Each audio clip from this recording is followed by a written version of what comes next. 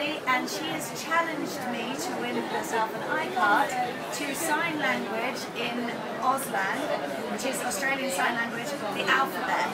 So, um, I'm going to attempt it. So, I've got an A, B, C, D, E, F, Oh, up. Up go.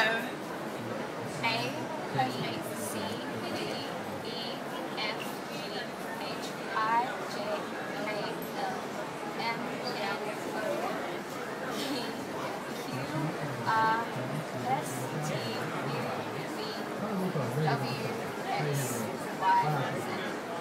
Oh, she wins!